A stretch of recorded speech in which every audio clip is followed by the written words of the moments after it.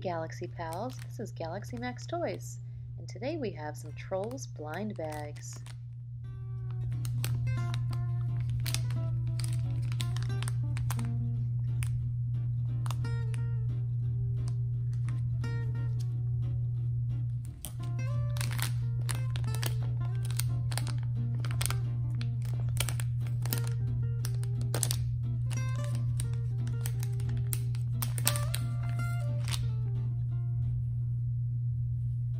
Ooh, look at his pink hair.